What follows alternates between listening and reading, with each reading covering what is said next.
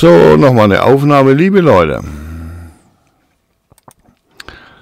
Ich sag's euch, ich bestell gerne im Internet, hab 20.000 Mark im Monat verdient. Hier gehen wir mal auf Ebay. Ich bin jetzt unter Betreuung gestellt, weil sie mich für verrückt sagen. Und wir machen jetzt mal einen Test. Ich schalte um auf den Monitor.